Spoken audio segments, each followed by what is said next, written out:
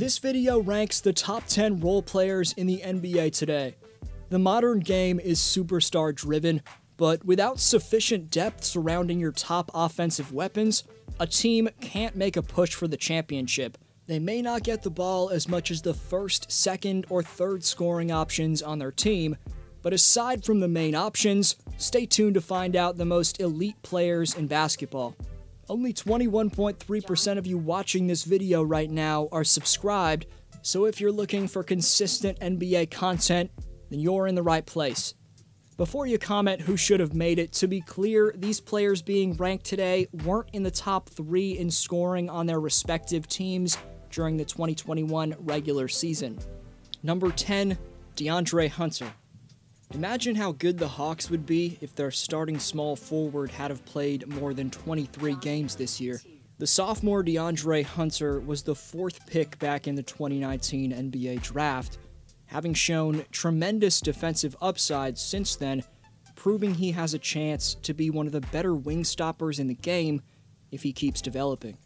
Despite battling a knee injury all season, Hunter played in the first round of the playoffs against the New York Knicks in that five game series, DeAndre struggled from the field overall as he only shot 38%.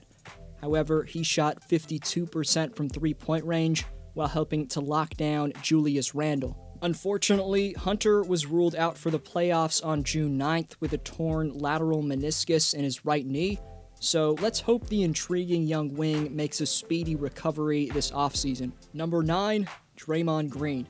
Draymond did shoot the second lowest field goal percentage of his career, plus his third worst three point percentage tally, so he can't rank any higher than number 9.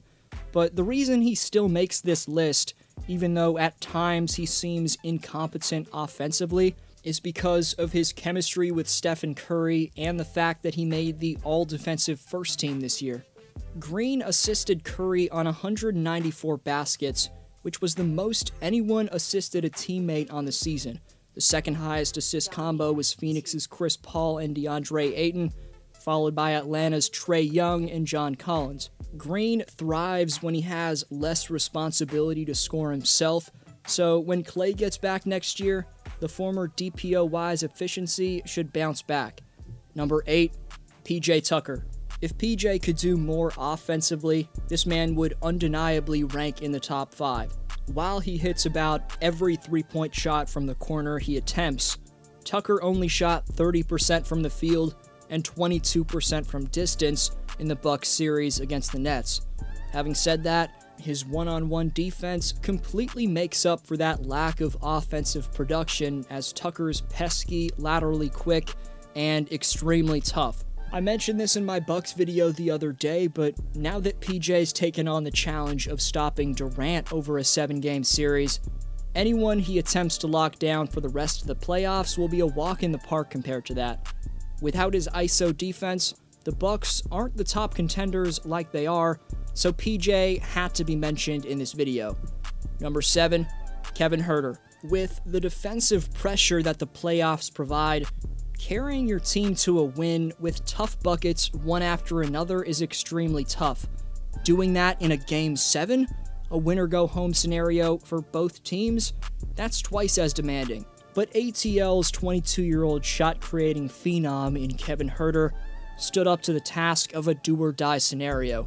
The 6'7 wing out of Maryland dropped 27 points on 10 for 18 shooting, sending the Sixers packing. Huerter's the glue guy who kept Atlanta going through the season. When the team is healthy, Huerter's the team's playmaker for the second unit. However, due to injuries, Huerter's been pressed into service as a starter. The Red Velvet's done a great job replicating the production of DeAndre Hunter, which is what the team needed. Kevin's led the Hawks in steals during the regular season, and in the first round, he was second on the team in blocks per game. His adaptability is one of his greatest assets, but he's still only in his third season. So while Huerter's a role player for now, we could see him as a star in a few years' time. Number 6, Joe Ingles. Headed to the Olympics to play for Australia's national team, Jinglin Joe's coming off a stellar campaign for the recently gone fishing Utah Jazz. Ingles is the ideal 3 and D player, but what's most likable about him, at least for Utah Jazz fans, is his persona. Joe's one of the best trash talkers in all of basketball and is one of those guys you hate if he's not on your team. The Aussie ranked 4th in the league among small forwards in defensive rating during the regular season and 5th among all players in three-point percentage. Despite the Jazz losing 4 straight to the Clippers, Ingles was one of the most efficient players in the series, so you can't blame Jingle and Joe for Utah getting eliminated. Number 5, Danilo Gallinari. Gallo's an essential piece for the Hawks, being three wins away from the NBA Finals. He can post up and knock down 15 footers in anyone's grill. He's exceptional at spacing the floor in the pick and pop, shooting 41% from distance in the regular season, the Hawks' offensive attack is so much more dynamic with Danilo on the roster, so he's been an excellent free agent signing for them. Number 4, Mikal Bridges. The 10th pick back in the 2018 NBA draft has developed into the perfect piece on the wing next to Devin Booker. The 7 1 wingspan of the Suns' starting small forward Mikal Bridges allows him to shoot over the top of defenders offensively despite having an unorthodox release. And on the other end, that length has made him one of the better wing defenders in all of basketball. Mikal's third pro campaign saw him shoot a stellar 54% from the field overall and 42.5% from deep. Number 3, Jae Crowder. The 12 year NBA veteran provides vocal leadership combined with elite defensive IQ and physicality. Those qualities were a big reason for why the Miami Heat went to the 2020 NBA Finals.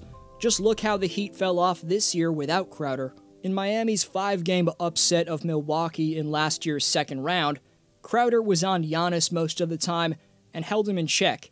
In Phoenix, the value of Jae's been overlooked because he was signed next to Chris Paul but the mentorship he's provided to DeAndre Ayton, Mikal Bridges, and Cameron Johnson has helped their development as young players.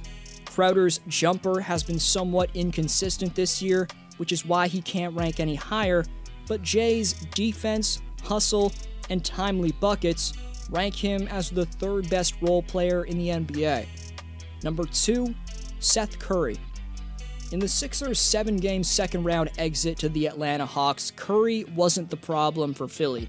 As Ben Simmons choked on Vegemite toast, Seth was lighting it up all series long. He averaged 21 points on 61% shooting from the field and a miraculous 59% from three point range. It has to be tough to be the little brother of a two time MVP, but Seth is more than simply marking his place in the NBA he's proving to be an elite shooter. Ahead of John Collins, Kawhi Leonard, Reggie Jackson, and DeAndre Ayton, Seth Curry's been the most efficient volume shooter of the 2021 playoffs. Number 1, Reggie Jackson. Early in Jackson's career, he was the leading scorer on a playoff team and averaged 19 points per game in 79 outings for the Detroit Pistons. Five years later, starting the year as the Clippers' fourth leading scorer during the regular season, Jackson's been forced back into a star role during the playoffs.